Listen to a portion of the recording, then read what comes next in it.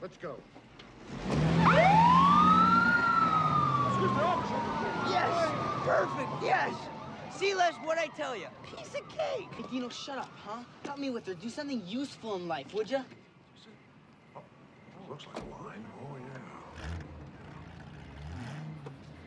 Oh, Maserati. Oh, this is much nicer than mine. Keys? This chick is no paperweight. So where's our next stop? There are no stops, Dean. We're going home.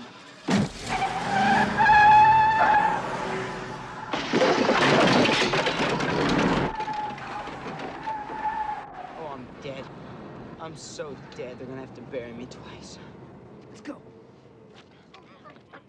Back on top in June. Looks like I'm in for the night. I said that's life. You can't take this car. Yeah, well, he took our car. We're gonna take his. But I Go. let it, let it get me Oh, down. wait. Oh, I'm Cause swinging. this Go, go. I've been a puppet, a pauper, a pirate, a poet, a pound, a king. I've been up and down and over and out. Where the hell am I? He's going left. He's going left. See him. find myself.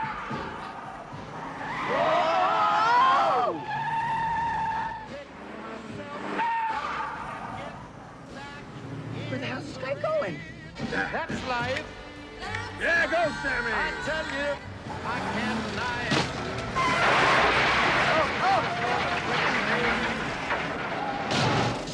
Don't worry about it. Don't worry about it. I can fix that. It's only the right side.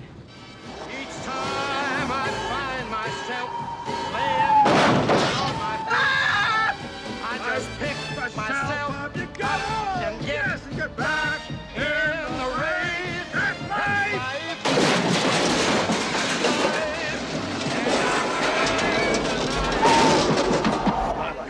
of roses, that's for sure.